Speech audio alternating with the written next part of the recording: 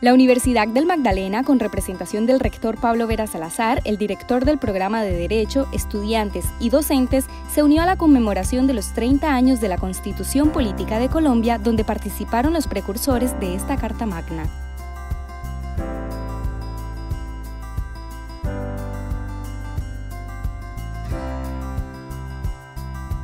Así que en este día queremos reconocer en este año de los 30 años de esa constitución el esfuerzo de esos constituyentes, de una generación que movilizó la séptima papeleta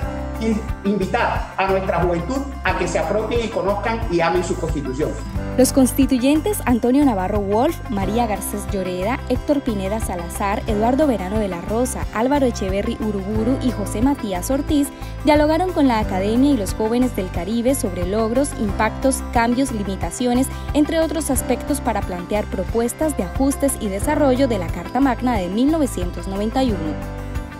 Todavía hoy nuestra constitución del año 1991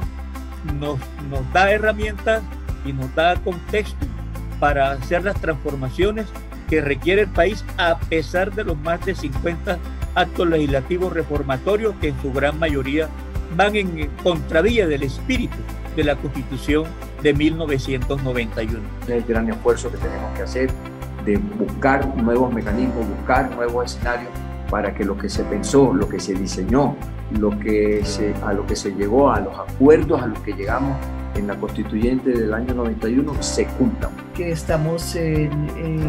encontrando la manera de salir adelante entre todos, pues creemos que, que hay que acudir a ese texto constitucional que logró cosas muy importantes. Asimismo, la Alma Mater otorgó la medalla al mérito y la excelencia en el ámbito social a los gestores de la Constitución por su contribución al desarrollo de las comunidades y la promoción y defensa de los derechos humanos. Universidad del Magdalena, aún más incluyente e innovadora.